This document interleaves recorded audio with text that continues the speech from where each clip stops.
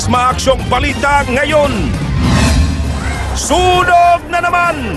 Lolo patay kasama na ng abo ng anim na bahay na natupok sa Pasay. Apat na mong bahay sa UP Bliss sa QC nasunog din. Claudine Barreto, nagayam sorry na sa dalawang ground crew ng Cebu Pacific na tinalakan umano niya sa airport. Tapos na nga ba ang issue?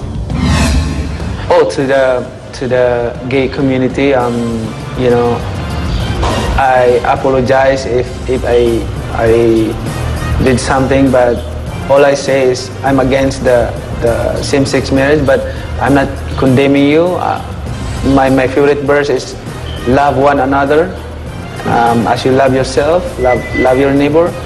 So I love everybody. Manny Pacquiao, nagsorry naman sa mga bating.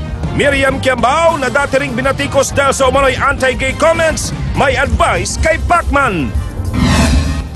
Good news! Minimum wage na mga manggagawa sa NCR, tinaasan ng 30 pesos kada araw. Pero itinaas na nga, sagot ng ilang grupo, kulang pa. Panamanian diplomata na pusahan ng rape.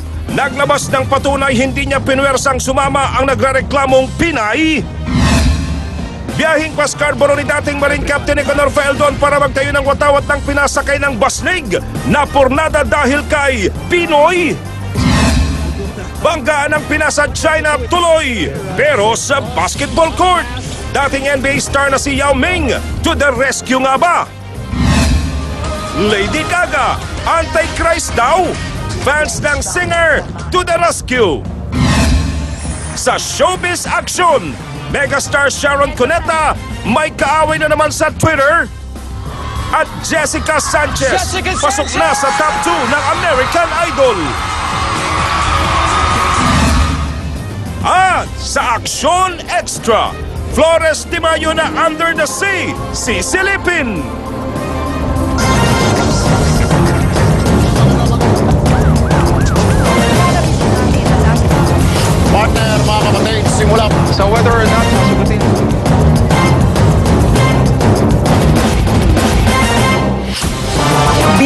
Sa 18 ng Mayo, magandang gabi. Ako po si Cheryl Quasim.